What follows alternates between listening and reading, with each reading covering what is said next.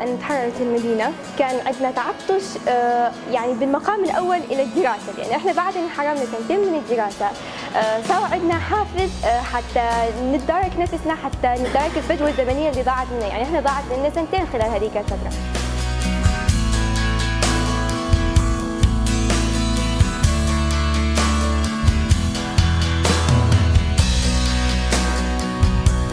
أول سنة دوامنا في مدارسنا كونها الأرض أرضنا والموصل مدينتنا ومن حقنا أنه نجي للمدارس ونستقبل العلم. فكانت المناهج عراقية وكان ماكو مانع أنه نداوم لكن في السنة الثانية حصل تغيير في المناهج فانقطعنا جميعنا تقريبا عن الدراسة كون المناهج تغيرت واستمرنا في هذا الانقطاع حتى تحرير المدينة.